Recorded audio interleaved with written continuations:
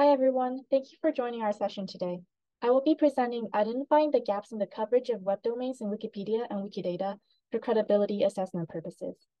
My name is Melinda Liu, and this is work that I did last summer with my peers at the Wellesley Cred Lab, supervised by my advisor, Eni Mustafaraj.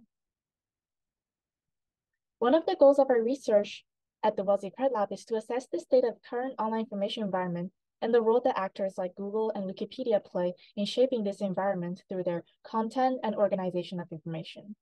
The research I'm presenting today continues to explore the interplay between these two platforms. So the presentation is composed of four parts. First, I will briefly introduce Google's About This Result feature, and then I will discuss our data collection process that starts with auditing search results on Google, then extracting links to Wikipedia pages and domain properties from Wikidata. I will then share the results of our analysis and finally discuss what our research means for future work. As you can see on this example, all results in the Google search result pages, or SERPs, are now accompanied by a vertical ellipsis menu item. If we click on the vertical ellipsis, Google reveals a pop-up window called About this result. If we examine the content in this window, we notice that the most prominent element is the source, referring to the web domain of this result.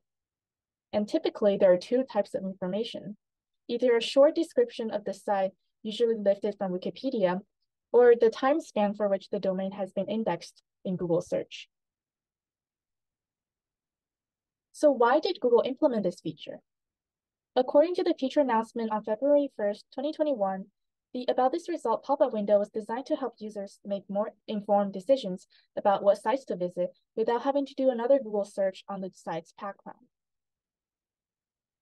But there are also other uses to this feature.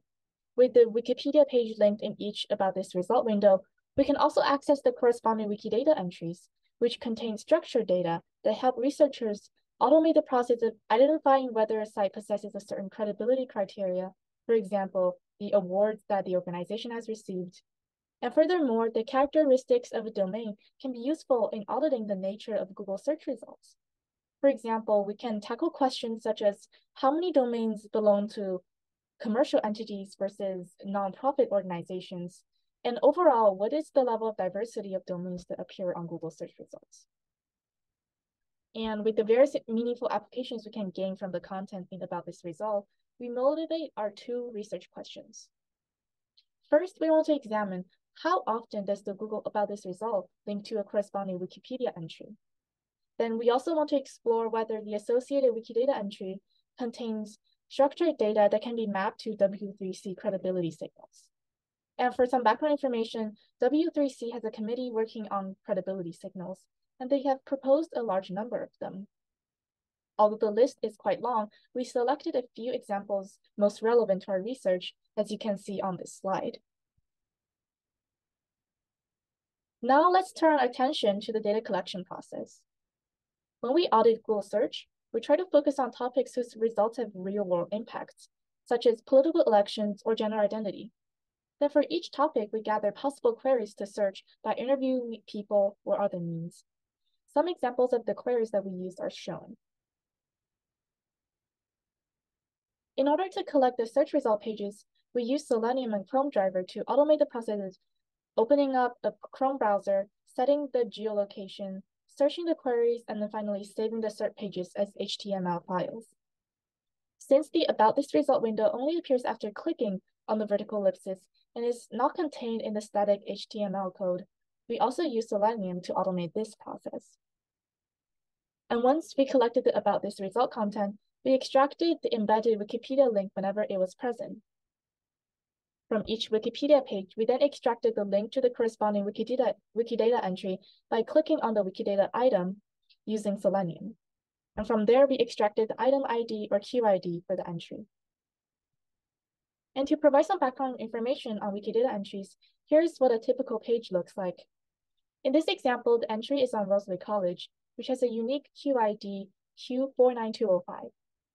If you go down the page, you can see two columns of information, properties, which are categories of information, as well as their associated values. In our example, we can see that Wellesley College is an instance of university, private, not-for-profit institution, and women's college, and it's also part of the Seven Sisters.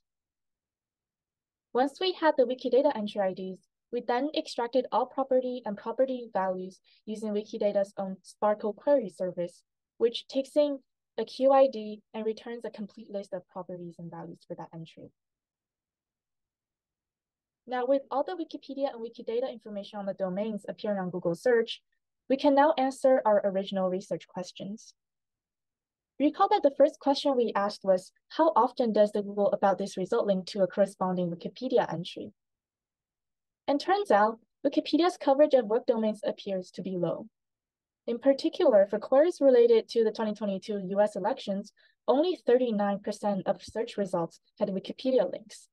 And for queries related to gender expression and relationships, only 37% had Wikipedia links. Our second research question was, does a domain's associated Wikidata entry contain structured information that could be mapped to W3C credibility signals? To answer this question, we examined the common properties that appeared on the Wikidata entries we collected. As you can see from the first table, instance of official website and inception are often present on Wikidata entries with occurrence rates over 80%. They're all useful background information on a domain's organization, potentially relating to W3C credibility criteria, such as publication type. Some other useful information, like founded by owned by and awards received that more directly correspond to W3C credibility signals are also present. However, they're more sparsely populated among Wikidata entries, as you can see in the second table on the right. If we look at the top values for the property instance of, we also see that a variety of domain organization types exist. However, some categories are actually more useful than the others. For example, being an instance of website, business, or organi organization doesn't really tell us much about the nature of the domain. But being an instance of a public educational institution, open access publisher, or magazine may potentially indicate something about a domain's credibility. In general, we conclude that for the audited topics, the coverage of domains in Wikipedia is less than 40%, which means that more research should be done to identify what is missing and why. In addition, we discovered that Wikidata has a number of properties. However, it's difficult to map them directly to W3C credibility signals. Future collaboration between the platforms should be needed. And last but not least, for existing properties such as instance of, the values are not always useful. Therefore, identifying more useful property values to include on Wikidata should be considered. Thank you for your attention. I will be happy to answer any questions you might have.